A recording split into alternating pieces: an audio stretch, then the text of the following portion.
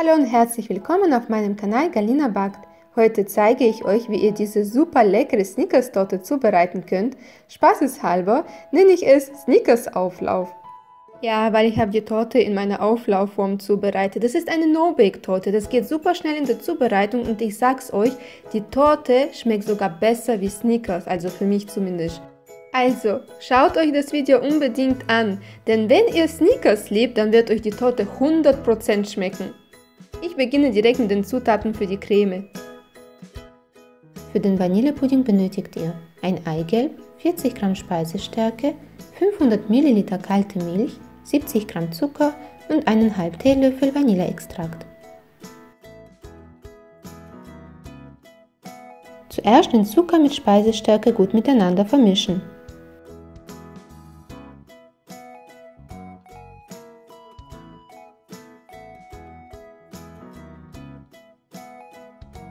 Neun Esslöffel von der kalten Milch dazugeben und verrühren.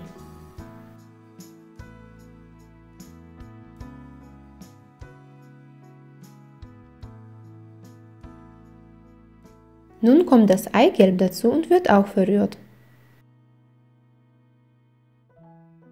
Die restliche Milch mit Vanilleextrakt zum Köcheln bringen.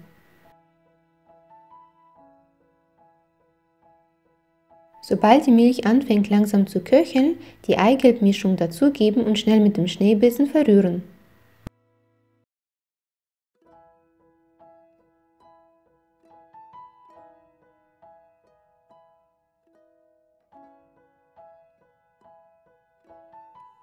Circa 2 Minuten köcheln lassen, dann ist der Pudding schon fertig.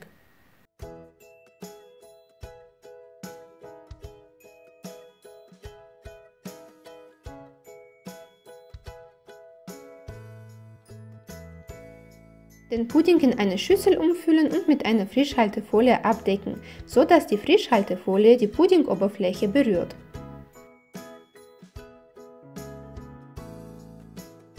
Den Pudding bei Zimmertemperatur abkühlen lassen. Den Pudding in eine Schüssel sieben.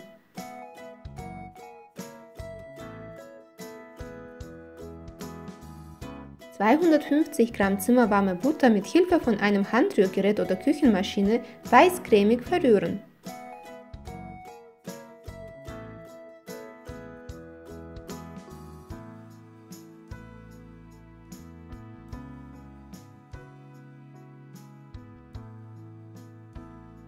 Löffelweise den Pudding hinzufügen und verrühren lassen.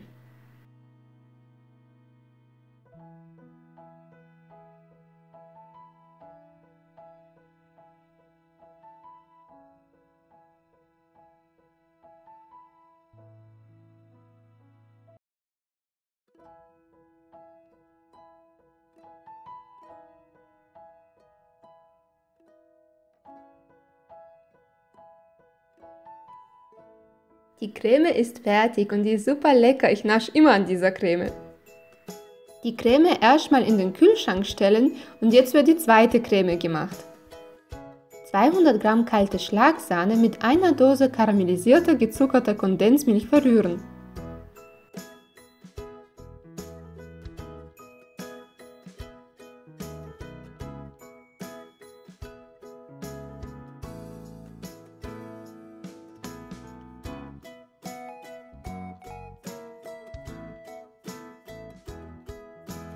Ich habe noch 6 Teelöffel Sanapat dazu gegeben, muss aber gleich sagen, mit 6 Teelöffel Sanapat wird die Creme noch nicht fest genug. Mir hat die flüssige Konsistenz gepasst, deswegen habe ich es mit 6 Teelöffel Sanapat gelassen. Wenn ihr das noch dickflüssiger oder noch fester haben wollt, dann nehmt ungefähr 9 Teelöffel Sanapat, schaut mal, ob das schon fest genug ist, wenn nicht, dann nochmal 1 bis 2 Teelöffel dazugeben. Und natürlich den Sanapat auch verrühren lassen. 300 Gramm geröstete Erdnüsse dazugeben und unterheben.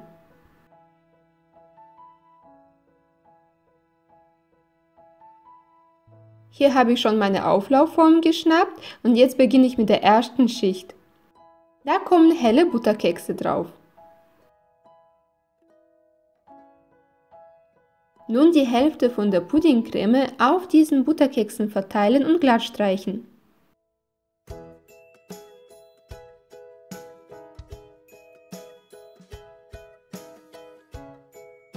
Jetzt kommen wieder helle Butterkekse obendrauf.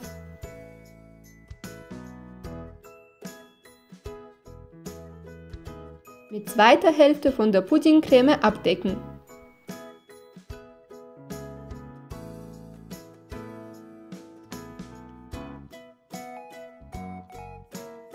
Nun werden Schokobutterkekse obendrauf verteilt die leckere Erdnuss-Karamellcreme auf den Schokobutterkeksen verteilen und glatt streichen.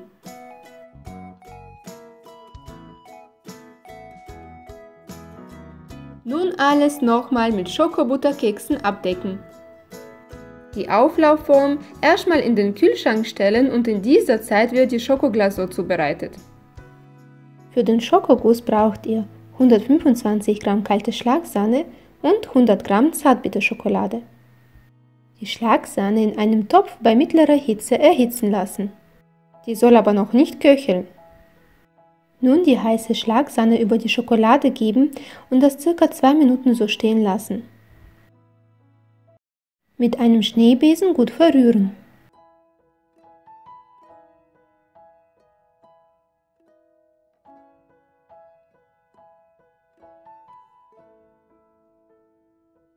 Die Schokoglasur auf die Oberfläche von der Torte geben und gut verteilen.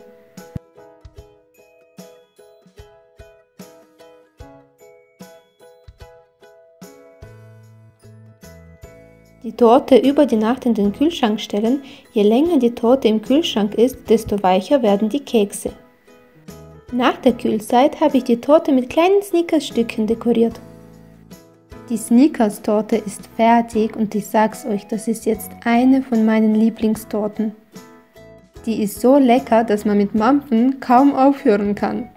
Vielen Dank dafür, dass ihr mein Video angeschaut habt und wenn es euch gefallen hat, dann bitte liken und abonnieren nicht vergessen. Ich werde mich sehr darüber freuen. Und bis zum nächsten Mal, eure Galina. Bye bye.